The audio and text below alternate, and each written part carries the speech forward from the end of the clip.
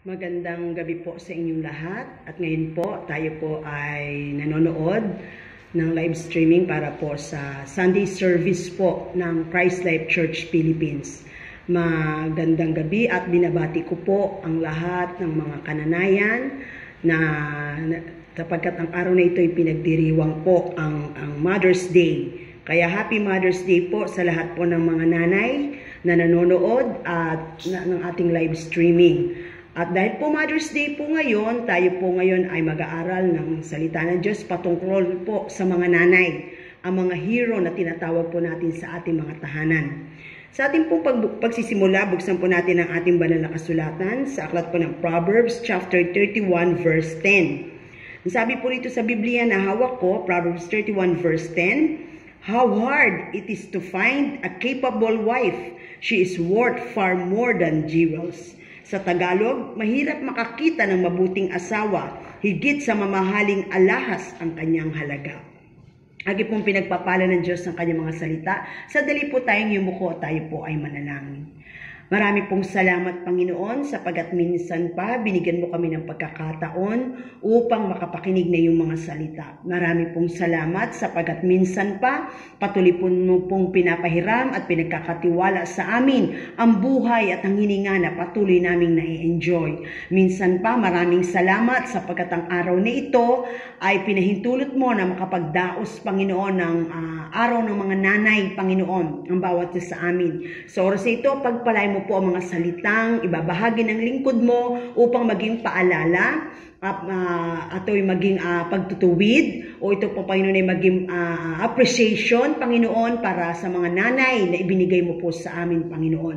Marami pong salamat at patuloy namin dinadakila ang araw ng mga ina Panginoon sapagkat alam namin hindi ganun biro Panginoon ang maging magulang Panginoon. Kaya salamat po nawa ang mga salita mo'y patuloy na magbigay sa amin ng lakas, ng katatagan at patuloy mag-encourage sa amin Panginoon bilang mga nanay na pinagkatiwalaan mo ng pamilya. Maraming maraming pong salamat sa mga salita mo, Panginoon, na pagbubulay-bulayan namin. Dahil tunay nga, hindi lamang sa tinapay na bubuhay ang tao, kundi sa bawat salitang namumutawi sa bibig mo. Samahan mo po kami, Panginoon, sa pag-aaral ng mga salita. At abutin mo ang mga nanay na nakikinig, ang mga anak, asawa, at sino man, Panginoon, na nanonood Abutin mo kami, Panginoon, sa tunay naming kalagayan habang kami nakikinig na iyong mga salita. Sa iyo po ang papuri, sa pangalan ni Jesus. Amen. So, magandang gabi po. Minsan pa, ito po si Pastora Janet Damaso. Welcome po kayo sa Sunday service po ng Christ Life Church Philippines. Sabi po sa ating binasa, a wife of novel character who can find. She is worth far more than rubies. Sabi doon, ang mahirap makakita ng mabuting asawa, higit sa mamahaling alahas ang kanyang halaga. Ang pagiging, na, pagiging nanay po ay hindi po biro. Tulad ko po, ako po ay makakapagsabi sa inyo, dala ko po ay isang ina. Kaya alam ko po ang trabaho, responsibility, damdamin at tungkulin ng isang ina. Kaya pag-aaralan po natin dito is uh, the ability of an extraordinary mothers. A mother of a noble character ay meron po mga abilidad po yan. Extraordinary po ang abilidad na binigay ng Diyos sa mga nanay. Pero hindi po natin nilalahat ang mga nanay kasi meron din po akong mga alam na mga kwento ng mga nagpapa, na humihingi ng payo, kwento ng mga estudyante na hinahawakan ko, kwento ng mga taong nakapaligid sa akin na nakaranas ng, ng uh, hindi uh, mabuting ina o nakaranas na ang kanilang mga ina ay hindi naging mabuti sa kanila. Pero hindi nga hindi nga po lahat. Pero mostly po meron ang mga nanay po ay may extraordinary na character. So yun po yung ating pag-aaralan. Yung mga babaeng pag, uh, na nakasulat sa Biblia na ating pag-uusapan sa hapong ito, sa gabing ito, ay these women, women obeyed God's calling, served sacrificially, and built a life of faith for their family. We can learn much from the examples of these biblical mothers. Siyempre po, ang pag-aaralan po natin yung mga biblical mothers na isinulat ng Panginoon sa aklat na sa Biblia upang maging aral o uh, gabay or pwede nating bigyan ng uh, magandang example na pwede nating tularan bilang mga mothers. So, sabi po doon, una, a mother has or must have the ability to wait patiently for the Lord. So ang isang extraordinary nanay daw po, dapat daw po ay merong uh, ability to wait patiently for the Lord. Sabi po ng Biblia. So, kung hindi pa man kayo nanay at ikaw ay magiging nanay pa lang, or ikaw ay dalaga at darating ang araw ay ikaw ay magiging magulang o magiging nanay, kailangan a mother has or must have the ability to wait patiently for the Lord. Psalms 27 verse 14, Wait patiently for the Lord. Be brave and courageous. Yes, wait patiently for the Lord. Si Lord, si Lord mismo ang nagsabi na tayo ay maghintay na may mahabang pasensya o kailangan natin hintayin kung ano yung kalooban ng Panginoon sa ating buhay o takdang oras na itinakda ng Diyos. Kasi si Lord is a, uh, meron siyang laging perfect time. So bilang mga nanay, minsan nandoon tayo, na minsan tayo ay gusto agad nating makita yung nais nating makita ang pagbabago sa ating mga anak o mga pagbabago sa ating pamilya, pagbabago sa ating mga financial status. Dahil tayo po ang nagbabudget, tayo po ang humahawak, tayo po ang nagpo-provide, nag-provide uh, ng mga uh, ng mga pangangailangan ng ating pamilya sa bawat araw. Tayo po yung nagbabudget ng oras, ng mga bagay na ginagawa natin. Sabi doon, having patience means you can remain calm while waiting for the Lord to act. So, hindi daw po ito yung mga nanay na laging parang ano, uh, nagmamadali or kailangan tayo habang naghihintay tayo sa kalooban ng Panginoon, yung o si Lord ay kumilos, dapat meron daw tayong yung kalmadong damdamin o kalmado o pagtitiwala sa Diyos. Di ba? Wait patiently even when you've been waiting forever but still believing in your heart the promise of God will come to pass. Lagi nating tatandaan bilang mga nanay, yung kalooban ng Diyos at tamang panahon para po sa ating mga anak, sa ating pamilya, ang dapat nating hinihintay.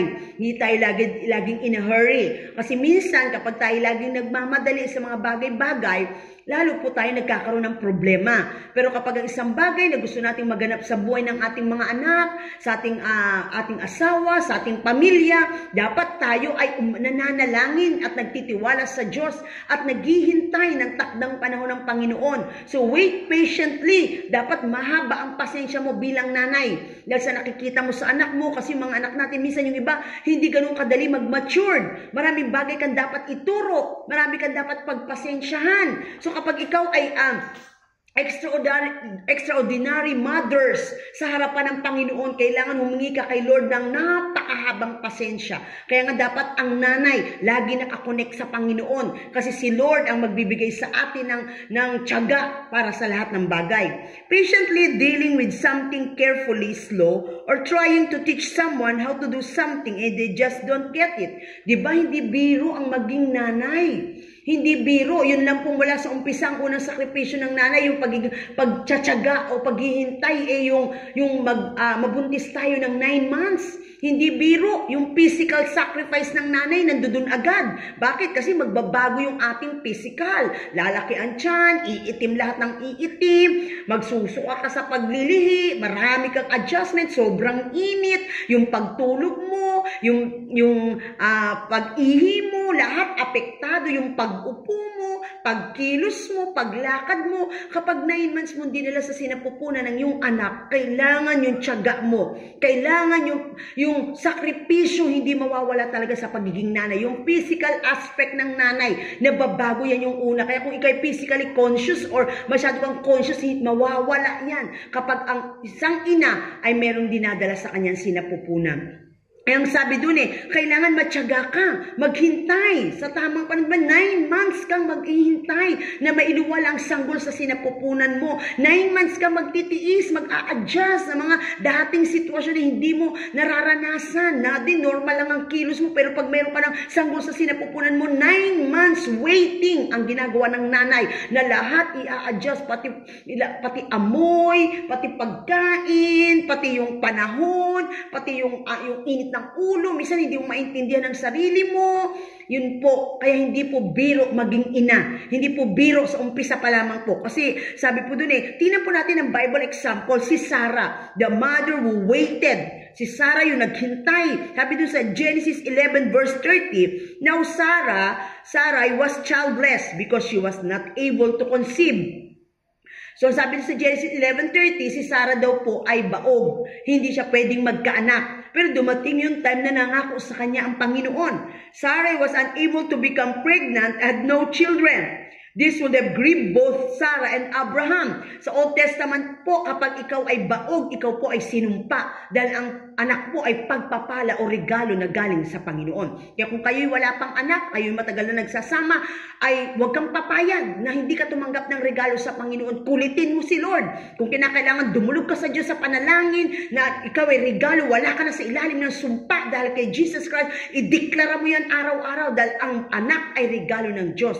So si Sarah po po ay baog. Kaya po noong time na yon, pero dumating isang araw, nangako sa kanya ang Panginoon. Genesis 15, 1 to 2. When the word of the Lord came to Abram, he answered, What will you give me, Lord, since you have not given me an heir?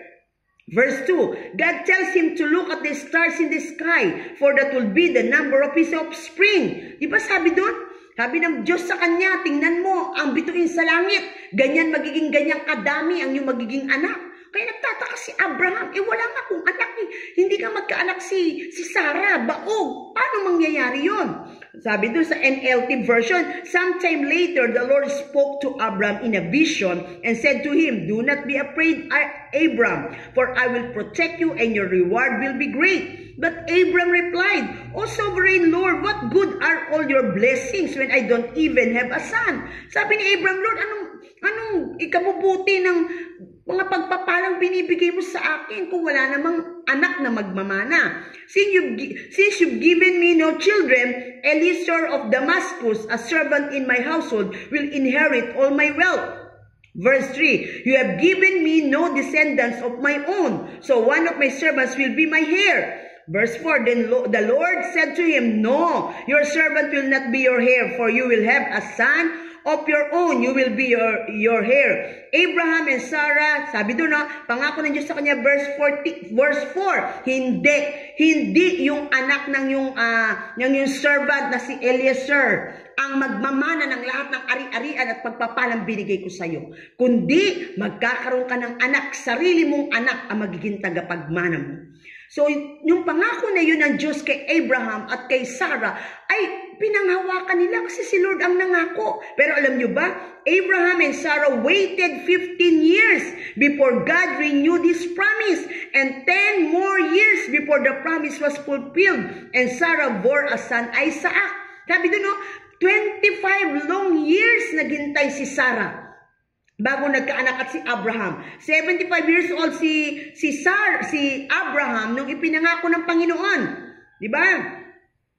At si Isaac ay nung isina, sinila si, Asa, si Isaac, 100 years old na siya. Kaya 25 long years Sarah probably wouldn't win an award for waiting and she even laughed at the idea that God could do what he promised. But thankfully, God, God's promise did not rely on the levels of Sarah's faith. Di ba? Kung bibigyan si, daw ng award si Sarah na, yung pinakamatindi, naghintay siya ng 25 long years para yung pangako ng Diyos na anak ay magkaroon ng kaganapan. Pero kapatid, yung pangako ng Diyos na ganap sa buhay ni Sarah, hindi niya tiningnan yung faith ni Sarah kasi Sarah nga tumawa eh. Nung narinig niya na siya yung mga anak, natawa si Sarah. Kaya yung kung tingnan natin yung pananampalataya ni Sarah, hindi siya naniniwala ganun 100% na siya mabubuntis at magkakaanak. Pero hindi tiningnan ni Lord John at naganap ang pangako ng Diyos sa buhay ni Sarah after 25 years sa buhay ni Abraham. After 25 years. Kaya kapatid, kung ikaw ang isang ina na humihingi ng katuparan ng pangako ng Diyos sa iyong mga anak, ng anak mo'y baguhin, ng anak mo'y uh, pagpalain, ng anak mo'y ma, na, na anak mo'y magsumikap, ng anak mo ay mabago ang buhay, ng asawa mo ay mawala sa bisyo, ng asawa mo'y makakilala kay Lord, ng mga anak mo'y makakilala kay Lord. Kapatid, ang pangako ng Diyos may katuparan. Ang kailangan mo lang work, wait patiently na tapat ang Diyos na nangako sa iyo. Sabi dun eh, sa Genesis 21, 6 to 7, And Sarah declared, God has brought me laughter. All who hear about this will laugh with me. Who will have said to Abraham that Sarah would nurse a baby? Yet I have given Abraham a son in his old age. Iba, hindi akalain ni Sarah na sa kanyang katandaan, siya ay magpapasuso o siya ay mag-aalaga ng sanggol at bibigyan niya ng isang, ng isang anak, si Abraham. Pero lagi natin tatandaan sa Diyos, si, si Lord hindi nakatingin sa edad. Si, si Lord, pag nangako, ideklara mo, lagi mong angkinin, paniwalaan mo. Dahil sabi ng Biblia, hindi babalik ang salita ng Diyos na walang nagaganap. Huwag kang titingin sa circumstances. Kung inaangkin mo na babaguhin ng Diyos ang asawa mo, manghawakan ka doon, ideklara mo yun, wait patiently, and it will come to pass. Kung, kung na, dinidi, kung ikaw ay nananalangin at humingi kay Lord na baguhin yung anak mo, na baguhin yung sitwasyon mo, na baguhin yung mga bagay na nangyayari sa pamilya mo, kapatid, wait patiently. Bilang ina, maghintay ka, huwag kang susuko. Lagi kang dumulog sa Panginoon. Dahil ang lahat ng pangako ng Diyos magkakaroon ng katuparan sa takdang panahon. May perfect time si Lord, hindi natin time. Sabi doon, then she laughed with joy at what the Lord has done. Yung unang tawa niya ay tawa ng pag-aalinlangan sa pangako ng Diyos na siya magkakaroon ng anak. Pero yung pangalawang tawa niya, ito'y tawa ng kagalakan na yung pangako ng Diyos ay nagkaroon ng kaganapan sa kanyang buhay. Kaya kapatid, Isaac will go on to continue the legacy of his father Abraham. Doon natin makikita na si Isaac na pangako ng Panginoon ang siyang magpapatuloy sa legacy na iniiwan ng kanyang tatay. Kaya kapatid, sa oras na ito, ang sabi doon, ang magkailangan a mother has or must have the ability to, to wait patiently for the Lord. So tayo po ay magtiyaga sa ating mga anak na isang araw, magmamature din po yan. Magtiyaga po tayo na yung mga asawa na pinapanalangin mo na makakilala kay Lord, na makaalis sa bisyo, na makaalis sa pag, pag, pagbarkada, na mawala, na makalaya sa gawa ng kaaway, o maring ang asawa mo ay uh, umalis at kayo ay inilisan o maring asawa mo yung mga may mga kahinaan na dinudulog mo sa Panginoon. Kapatid, wait patiently. Bakit? Kasi ang Diyos na nangako sa iyo ay tutupad. Katulad ni Sarah, nang sabi doon, siya yung uh, ah, 25 long years, pero yung pangako ng Diyos nagkaroon ng katuparan sa buhay ni Sarah. Pangalawa, a mother has o must have the ability of enduring difficult process or situation without giving way. Sabi doon, ang nanay, ang tunay daw ng ina o ama o uh, ang, ang ina daw, a mother, meron dapat daw or kung ikaw ay hindi pa mag nanay, darating ang araw ay kay magiging magulang. Dapat daw, mayroon kang enduring difficult process. May ability ka to endure. Sabi doon, the power of enduring an unpleasant or difficult situation. Dapat pag nanay ka, may ability ka to endure. Kailangan masakripisyo ka. Kailangan ikaw yung nanay na Ayaw mong isakripisyo ang sarili mo. Kailangan uh, maging matatag ka para ma-endure mo lahat ng difficult situation na nangyayari sa buhay mo. The ability to keep doing something difficult, unpleasant, or painful for a long time. Di ba? Yung sakripisyo ng nanay, hindi yan matatawaran. Lahat ng trabaho papasukin. May may paikain lang sa kanyang mga anak. Hindi yan nahihiyang maglaba, mama, mamasura. Hindi yan nahihiyang magpulot ng botet dyaryo o mag, mag, mag, magpulot ng mga bagay na pinaglumaan uh, or sira sa kapitbahay. Hindi yan nahiya mag, na, mag, mag, ano, magwalis sa kalsada. Hindi nahiya yung mangutang, manghiram. May may pakainan sa mga ma, sa kanyang mga anak. Hindi yan ang na, nahihiya, enduring. Ibig sabihin, the ability to withstand hardship or adversity, especially the ability to sustain a prolonged stressful effort or activity. Di ba? Yung magulang na lahat ng bagay ginagawa sa buong maghapon. Pagising pa lang sa umaga, nag-iisip na ng kakainin ng anak. Diba? Maglilinis ng bahay, maglalaba, magsasaing, magluluto, mag-aalaga ng anak, lahat ng bagay iniisip ng isang ina. Kaya sabi doon eh, the ability of enduring, a mother has or must have the ability of enduring difficult process, di ba? Yung proseso ng pagiging ina, hindi ganun biro. Kaya nga po yung mga nagsisimula pa lang sa pag-aalaga ng anak, minsan na-enjoy mo yan kasi pagsanggol pa yan, medyo nakakatuwa pa yan. Oo, medyo pagtsatsagaan mo pa yan, pero darating ang araw, yung puyat, yung pagod, Diba? Darating araw pag tumatakbo na yan. Darating araw lalo na kapag yan ay nag-aaral na. Lahat ipoprovide mo, lahat gagabayan mo, lahat ibibigay mo bilang nanay sa isang anak na lumalaki. Lahat gagawin mo. At habang tumatagal, sabi nga eh, mas mabuti pa ang anak daw eh, uh, maliit pa. Kaya mo pang kontrolin, pero pag ang mga anak daw ay malaki na, dalaga na, may sarili ng desisyon, nakakagawa na ng mga bagay na kaya nilang gawin, sabi doon, mas mahirap daw alagaan ng mga ganong anak. Bakit? Kasi, minsan yung ibang anak na ganon, hindi na marunong sumunod sa magulang. Bakit mayroon ng sariling pag-iisip eh? Mayroon ng sariling damdamin. Pero yung maliit na anak, may takot pa yan eh. Pwede mo pang takutin. Pwede mo pa yung kontrolin. Kaya habang tumatagal ang ina, dapat may enduring ka, may ability to endure. Bakit? Lalo na pag ang, ang nanay hindi natatapos ang pagiging nanay eh. Kahit na may asawa na yan, may apo ka na, ang pagiging nanay nandun pa din, ikaw pa din, kahit may pamilya na yan. Ikaw pa rin yung nanay na tatawagin, naaasahan, nasasandalan, naiiyakan, nahihingian, hindi natatapos ang pagiging nanay. Kaya sabi doon, kailangan meron tayong ability to endure difficult, di ba? Difficult situation or process or situation without giving way, sabi doon. Sabi sa Genesis 21:14, early the next morning, Abraham gave Hagar some food and a leather bag full of water. He put the child on her back and sent her away. Sent her away. She left and wandered about in the wilderness of Beersheba. Biblical example ng sa ano eh Hagar is the mother who injured si Hagar po. Ito po yung katulong nila nila ano maid servant nila Sarah. Dahil nga po si Sarah daw po ay mabubuntis pero nagtawa si Sarah, eh gusto nila ma-fulfill yung promise ni Lord, kaya ang ginawa nila, nagawa si, si, si Sarah ng kanilang sariling desisyon. Pinatabihan niya si Hagar kay Abraham para magkaroon ng anak. Pero pagkatapos mabuntis ni Hagar, ang ginawa nila, ito sabi to no, Early the next morning, Abraham gave Hagar some food in a leather bag full of water. He put the child on her back and sent her away. She left and wandered about in the wilderness of Beersheba. Di ba pinalaya sila si Hagar kasama yung anak? Di ba? Mahirap para sa isang ina ang palaki. Yun yung dalawa kayo magpalaki sa isang anak, sa anak eh. Napakahirap yung pakayang single parent. Kaya hindi mo hindi po matatawaran. Hindi po matatawaran ng isang magulang ang pagiging magulang. Bakit po si Hagar, sabi doon eh, Hagar was an Egyptian slave and a maid servant to Sarah, the wife of Abraham. She didn't have much say about anything, and especially not in becoming Abraham's wife. Though her status changed, she was still secondary to Sarah. Bagamat natap na, nagbago yung kanyang status dahil si, Sa, si Abraham ay nagkaroon ng anak sa kanya.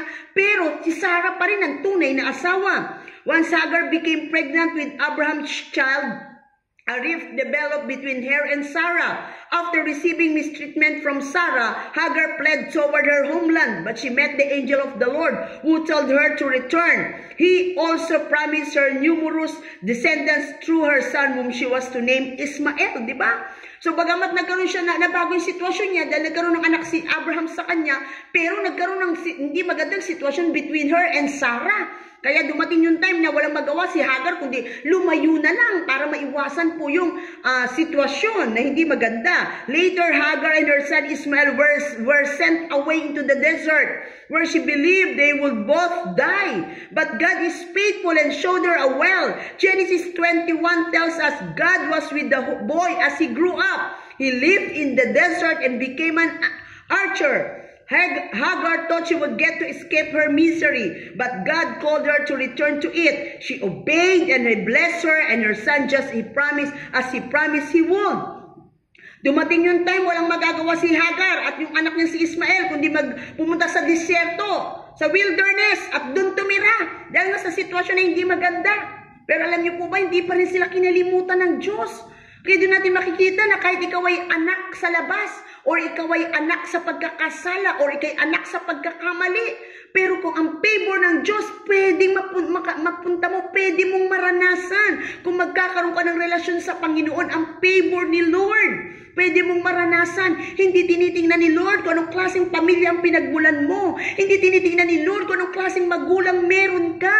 Kahit ikay anak mo si Ismael, anak sa pagkakas sa anak ng uh, ni Abraham, 'di ba? Hindi sila ang tunay ng pamilya, pero pines pa rin sila ni Lord, hindi sila kinalimutan ng Panginoon.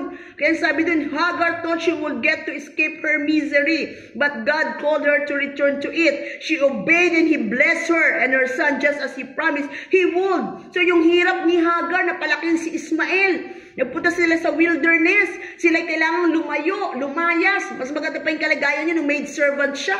Pero nagkaroon ng anak sa kanya si, si Abraham, wala siyang magagawa kundi lumayo dahil nagkakaroon ng conflict sa kanila ni Sarah. Kapatid, hindi biro maging tatay at nanay ng mga anak mo. Hindi biro na tumayong magulang. Yun ang dalawa, hindi ganun kadali. Yung pag ikay nag-iisa. Paano yung pagkukulang? Kahit ibigay mo lahat sa anak mo kapag walang tatay yan kulang. Pero ibigay mo ang pagmamahal ng tatay natin sa langit. Sabi ni Lord, I am the father of the fatherless. Kaya yung mga may anak na, kung may mga single parent, ilapit niyo yung anak niyo sa Diyos. Dahil yung kakulangan ng, ng, pag, ng, ng kakulangan nila sa tatay o paghahanap ng tatay, mayroong Diyos na nangako, I am the father of the fatherless. At yung favor pwedeng ibigay at maranasan ng Diyos sa buhay nila. Kahit sila, kahit ikaw ay single parent, wala kang asawa na pwedeng sandalan, iniwan ka ng asawa mo, wala kang asawa na pwedeng iyakan, wala kang asawa na pwedeng maging katuwang, wala kang asawa na pwedeng uh, uh, maging kalakasan mo sa oras na ikay nang, nang, nangangailangan o nangihina. Wala kang asawa na pwedeng magpalakas sa'yo, pwedeng gumabay sa'yo. Kapatid, single parent ka man katulad ni Hagar. Pero tandaan mo, kapag may relasyon ka sa Diyos, si Lord ang pwede magbigay ng lakas sa'yo. Si Lord, lahat ng kakulangan ng tao pwedeng ibigay ng Diyos. Pag kayo may relasyon sa Panginoon, yung kakulangan ng magulang, kakulangan ng asawa, kakulangan ng anak, sa Diyos mo hanapin. Dahil ang tao kahit ibigay sa iyo ang lahat, kulang ka pa rin. Dahil nagpapakumpleto sa puso ng tao ang Diyos. Kaya kapatid, huwag mong hanapin sa asawa ang tunay na kaligayahan. Huwag mong hanapin sa anak ang tunay na kaligayahan. Huwag mong hanapin sa, sa pamilya. Bagamat yan ay bahagi, kailangan natin yan. Pero ang Diyos, secondary lang yan. Pero ang Diyos, ang tunay na nagbibigay sa atin ng kagalakan, ng kakontentuhan. Kahit anong bait ng asawa natin, may kahinaan yan, may kakulangan yan. Kahit anong bait natin, kahit anong gawin, kahit tayo isang mabuting ina, may kakulangan tayo. Hindi natin pwedeng ibigay lahat sa anak natin. Hindi natin kayang ibigay lahat sa ating asawa. May kakulangan tayo, may limitasyon tayo. Ipakilala natin sila, ipakilala natin si Lord sa kanila. Magkaroon sila ng relasyon sa Diyos at yung relasyon nila sa Diyos ang magpapakumpleto sa kanila. Kahit anong sipag mo, kahit anong bait mong magulang, kahit kaya mong ibigay lahat sa iyong anak, kulang ka pa rin. Dahil si Lord ang tunay na kailangan ng ating mga anak at ng ating asawa. Kaya kailangan sila makakilala sa Panginoon. So yung sakripisyo. And last, a mother has or must have the ability to share her love to everyone. Sino ito? Si Ruth, chapter 1, 16 to 17. But Ruth answered, Don't ask me to leave you. Let me go with you. Wherever you go, I will go. Wherever you live, I will live. Your people will be my people, and your God will be my God. Verse 17. Wherever you die, I will die, and that is where I will be buried. May the Lord's worst punishment come upon me, if I let anything but death separate me from you. Diba? Sabi ni Ruth kay Naomi kasi namatay ni asawa ni Ruth eh. Kaya sabi ni Naomi, yung kanyang biyanan, sige na, luma, umalis na kayo, kung saan nyo gustong pumunta, gustong tumira, binibigay ko na yung kalayaan nyo. Pero sabi ni Ruth sa kanya, no. But Ruth answered, don't ask me, di ba? To leave you, let me go with you. Saan ka pumunta? Sasama ako sa iyo. Wherever you go, I will go. Kahit saan ka pumunta, biyanan, o ay sasama ako sa iyo. Sabi niya sa biyanan niya. Sabi doon, I will live Wherever you live, I will live. Kahit saan ka tumira, sasama ako sa iyo. Your people will be my people and your God will be my God. Wherever you die, I will die. Kung mamamatay ka, mamamatay ako. And that is where I will be buried. May the Lord's worst punishment come upon me if I let anything but death separate me from you. Di ba? Parusahan ako ng Diyos kung paghihiwalayan tayo. Kamatayan lang ang pwedeng maghiwalay sa atin. Napaka sarap pakinggan ng, dam, uh, ano, ng puso ng isang manugang sa kanyang biyenan. Kaya sabi doon eh, kapag ikaw ay mother, um, an extraordinary mother sa Biblia, katulad ni Ruth, a mother has, must have the ability to share her love to everyone, di ba? Naomi, the mother-in-law who shared her love to her daughter-in-law. And Ruth, Di ba? The daughter-in-law who shared her love to her mother-in-law. Ang sarap ng pagmamahalan nilang dalawa. Alam niyo po ba sa atin, bilang mga Pilipino, karaniwan ng problema ay problema ng magbiyanan at ng magmanuga. Sabi nila, yan daw ay brutal na magkaaway. Kasi yung biyanan, ang tingin doon sa manugang, kaagaw. Bakit? Kasi yung dating uh, atensyon ng anak niya, wala na sa kanya, nandun na sa manugang. Yung dating sweldo na binibigay ng anak niya sa kanya, wala na sa kanya, nandun na sa manugang. Kaya yung nagiging damdamin ng biyanan, parang nagiging kaagaw ang manugang. Ito namang manugang, ganun din ang tingin sa biyenan. Na pag binibigyan ng atensyon ng asawa ang biyenan, ang nagiging tingin nitong manugang, bakit napapriority si nanay? Pero dapat pag kristyano, nababali na po yan. Tingnan mo si Naomi sa kasirot, napakaganda kanila na. Kaya pag ikaw ay nanay, dapat may damdamin ka. Kaya mga biyenan, mahalin ng manugang. Para sa Panginoon, mga manugang, mahalin ng biyenan. Dahil kung wala kang biyenan, wala kang asawa. Yan ang nanay ng asawa mo. Hindi lang asawa ang minamahal, minamahal din ang nanay na ginamit ng Diyos upang mailuwal siya sa mundong ito. Huwag naging tingin na kaagaw. Kaya sabi doon, Naomi and her family fled to the country of Moab. Because of a famine in their land, her husband died and their two sons married Moabite women, Orpha and Ruth. After 10 years, both of Naomi's sons passed away. And Naomi heard that the Lord had blessed the land of her people with food again. Namatay lahat. Asawa, anak ni Naomi, namatay lahat. She told her daughters-in-law that they could return home to find new husband. Kaya sinabi niya sa kanya mga mga manugang, sige na, maghanap na kayo ng mapapangasawa nyo. Patay na naman yung mga anak ko eh. Yung mga asawa nyo eh, patay na naman. Although they both wept at her leaving, one refused to leave. Naomi sighed. Orpah returned to her people and her gods. But Ruth said, di ba? Si Orpah bumalik. Umiyak, nag-iiyakan sila. Paghiwalay. Pero si Oprah, umalis pa rin siya. Si Orpah, umalis pa rin. Pero si Ruth nag-stay. Kaya sinabi ni Ruth sa kanya, Don't urge me to leave you or to turn back from you. Where you go, I will go. Where you stay, I will stay. Your people will be my people and your God my God.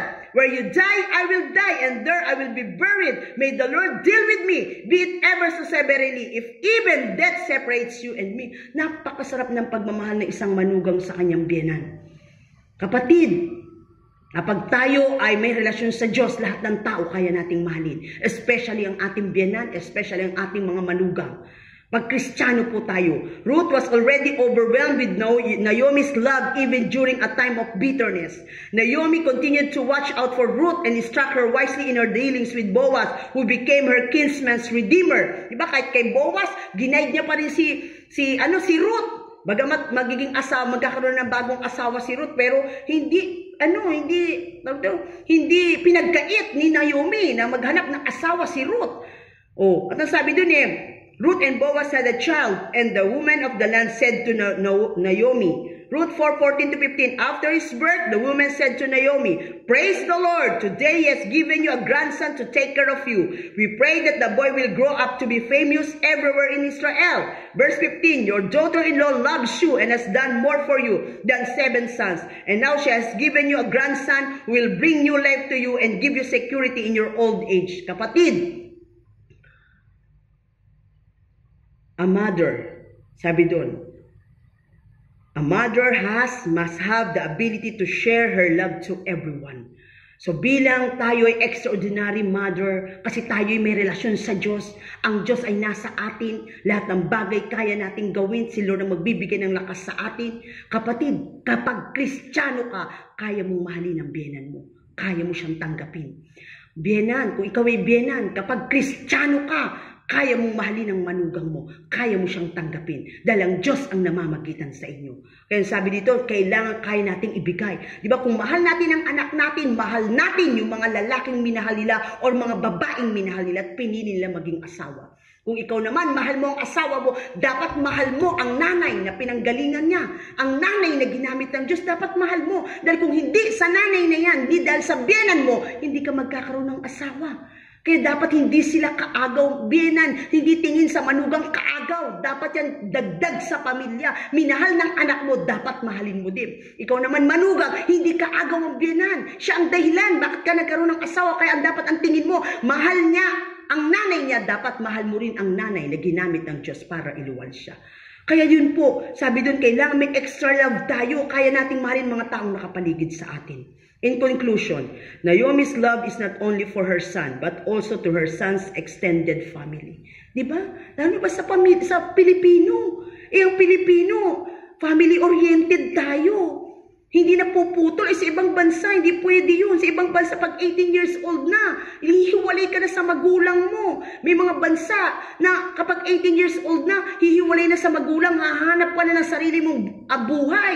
Maghahanap buhay ka na. Pwede ka na magrenta ng sarili mong apartment. Pwede ka nang lumayo sa, sa magulang mo, sa poder ng magulang mo.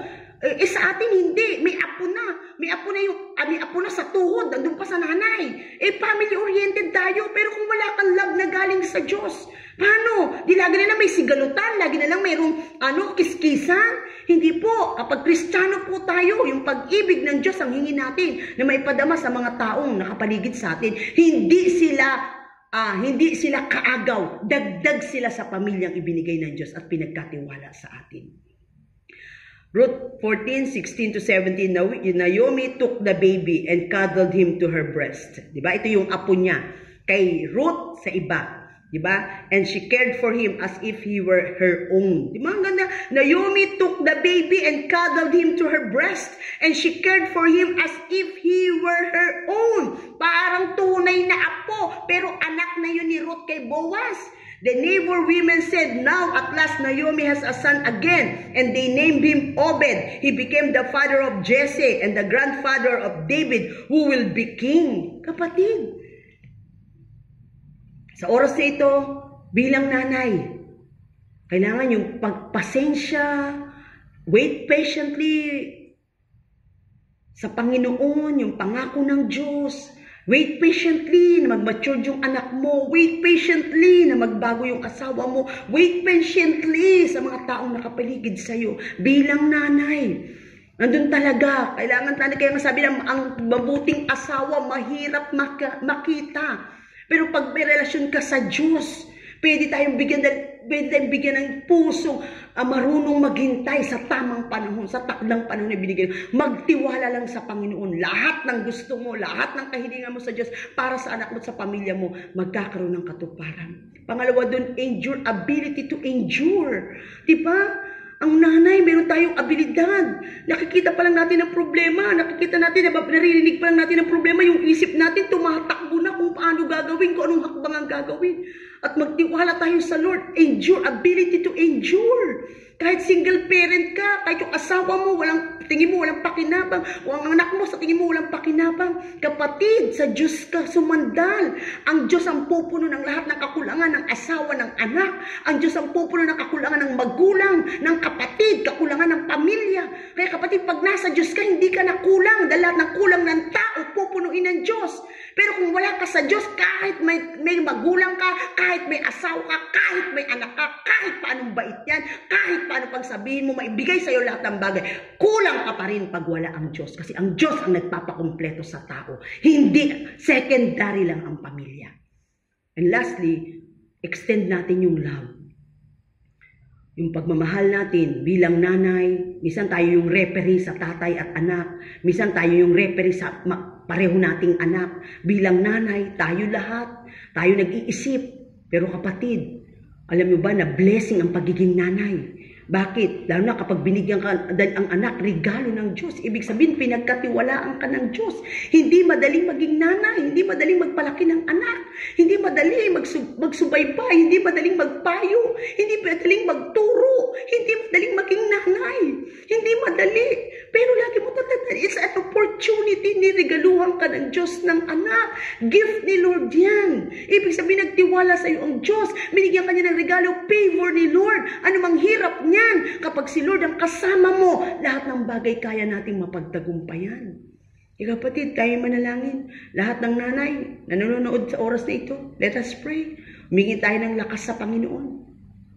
Hindi lang pagiging nanay, pagiging lola, pagiging tita. Panginoon, patuloy kaming lumalapit sa iyo. Narinig po namin na mga biblical character na pinag-aralan namin, Lord, extraordinary mother. Kasi nagtiwala sa iyo dahil may relasyon sa iyo, Panginoon.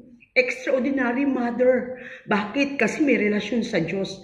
Kaya Lord, kami bilang mga nanay, Lagay mo sa puso namin na maging priority ka para, Panginoon, lahat ng bagay mapagtagumpayan po namin. Magkaroon kami, Panginoon, ng pusong marunong maghintay na mga pangako mo sa amin, na yung mga pinapanalangin namin sa iyo para sa aming mga anak, pinapanalangin namin sa iyo para sa aming mga asawa, para sa aming pamilya, sa aming mga pangangailangan, Lord. Alam namin isang araw magkakaroon ng katuparan sa buhay namin dahil tapat ang Diyos na nangako sa amin. Panginoon, kung may relasyon kami sa iyo bilang mga katulad ng mga biblical mothers, Lord, extraordinary mothers, Lord, dahil sila, lumingi sila ng lakas sa iyo. Lord, meron kami, magkaroon kami, may, bibigyan mo kami ng ability to endure every situation, Panginoon. Lahat ng sitwasyon na pinagdaraanan, mai-endure namin dahil ikaw ang Diyos na magbibigay sa amin ng lakas. Ikaw ang magbibigay sa amin ng katatagan. Ikaw ang magbibigay sa amin ng karunungan bilang nanay. Hindi madali, pero alam namin, kakayanan namin, kapag sa iyo kami sumandal, Panginoon. Dahil ikaw ang magbibigay ng lahat ng bagay na kulang na hindi kayang ibigay ng tao sa mundong ito. Lord, ganun din po, bigyan mo kami ng pag-ibig na galing sa iyo, Ama. Yung pag-ibig na nag-e-extend, Panginoon, na lahat ng bagay na dumadagdag sa pamilya namin, Panginoon, Father God, ay pagpapala, Panginoon. Hindi ka agaw ang maging tingin namin, kundi isang uh, uh, bahagi ng pamilya na pwede namin ma-extend yung pag-ibig na galing sa iyo, Panginoon. Lord, dalangin ko po pa mga magitan ka, Panginoon, sa bawat relasyon na magbinan, magmanugang, Panginoon, bawat relasyon, Panginoon, na mag-ina sa kanyang, um, sa kanyang uh, anak, anak anak sa kanyang ina, mag-asawa, Panginoon, relasyon pinuparigan sa bawat pamilya na sinisira ng kaaway. Dalangin namin, wag siya, uh, dalangin namin, Panginoon, ikaw ang Diyos na magtagumpay. Dahil sabi ng Biblia, si Satanas napunta rito para pumatay, magwasak at pumuksa. Sinisira niya ang pamilya, Panginoon. Dahil alam niya, pag sira ang pamilya, sira ang anak, sira ang pamayanan, sira ang pamilya, sira ang Panginoon, ang kinabukasan, Father God. Pero Lord, hindi siya magtatagumpay dahil makapangyarihan kapangyarihan ng Diyos na kasama namin. Kaya Lord, yung mga pamilya dumaraan sa pagsubok, dumaraan sa mga pag-aaway-away, mga sirang relasyon, mamagitan ka, Panginoon. Ayusin mo ang relasyon ng mag-ama, ang relasyon ng mag-ina, ang relasyon ng mag-asawa, mamagitan ka sa relasyon ng maghipag, magmanugang, magbiyenan, Panginoon, magtsahin, magpinsan, God, magkakadugo, Panginoon. Dapat kami ang nagmamahalan, hindi kami ang nag-aaway-away, Panginoon. Kaya Lord, dalangin namin, mamagitan ka sa bawat relasyon ng bawat pamilya pamilya. Marami pong salamat, Panginoon. At sa oras ito, dalangin ko, proteksyonan mo ang bawat pamilyang pinagkatiwala mo sa amin. Proteksyonan mo ang aming mga anak, ang aming mga asawa. Salamat, hindi kami perpektong asawa, pero pinagkatiwalaan mo kami ng asawa. Gawin mo kaming mabuting katiwala. Salamat, hindi kami perpektong magulang, pero pinagkatiwalaan mo kami ng anak. Gawin mo kaming mabuting magulang. Salamat, hindi kami perpektong tao, pero pinagkatiwalaan mo kami ng pamilya. Gawin mo kaming mabuting miyembro ng pamilya, Panginoon, na mag-share ng pagmamahal na galing sa iyo, Ama. Salamat, isa lang ang pamilya, Lord. Ang ministry, marami. Ang trabaho, marami. Kahit saan kami pumunta, pwede kami makakita ng trabaho. Kahit saan kami pumunta, pwede kami lumipat ng ministry at ng church, pero isa lang ang pamilya na binigay mo sa amin. Lagay mo sa puso namin yung burden na ingatan ng pamilyang pinagkatiwala mo sa amin. Na ingatan yung asawa, anak na pinagkatiwala mo sa amin. Mahalin namin yung mga taong ibinigay mo sa amin. Ang manugang, ang ng Panginoon. Lord, isa lang ang pamilya. Kaya dalangin namin ipagtanggol, ipaglaban namin ang pamilya na pinagkatiwala mo sa amin na wag wasakin ang kaaway, Panginoon. Wag sirain ang kaaway, ang mga anak na binigay mo sa amin upang palakihin na ayon sa iyong kalooban. Hindi madaling maging magulang. Hindi madaling maging asawa. Hindi madali, Lord. Pero alam namin, kapag kasama ka namin, ikaw ang magbibigay sa amin ng tagumpay. Ikaw ang magbibigay sa amin ng lakas parang ingpingatan ang pamilyang pinagkatiwala mo po sa amin. Habang may lakas, habang may panahon, huwag kaming manghihinayang magpakita ng pagmamahal, yakapin ang mga magulang, ang anak, ang asawa, habang may hininga.